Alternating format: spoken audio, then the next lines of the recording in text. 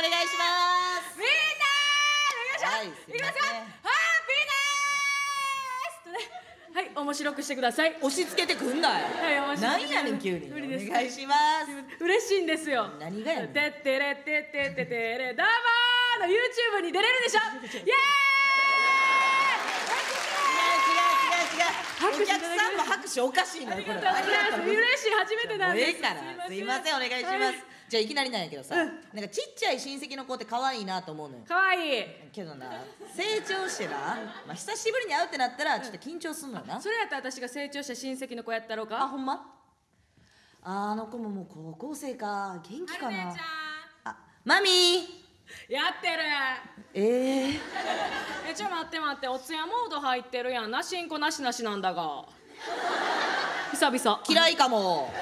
今こんなギャルなってんねやこの子、てかあんたさちゃんと勉強とかやってんの？うん最近百人一首習った。あそれやったらお姉ちゃんも春過ぎて夏木にけらし白鯛の。衣干し町天のかぐ山なんかこんなん習ったな。習ってない。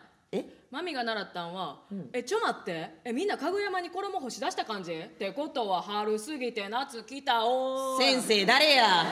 おおはやばすぎるやろちょっと。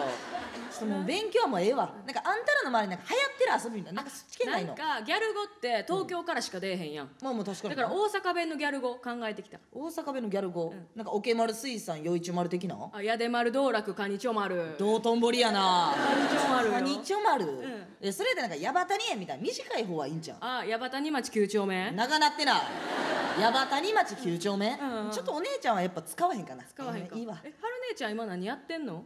ああ私その芸人をやってんのよ。え一発ギャグとかありそう。最悪や。あやらんでいいやらんでいい。春姉ちゃんのために大切な時間とお金使ってくれる人の前だけ全力で頑張り。理解あるね。すごい分かってくれるやん。ちょっと待って待って。なんやこの親戚の子。こんなんじゃない？全然ちゃう。もうええわありがとうございました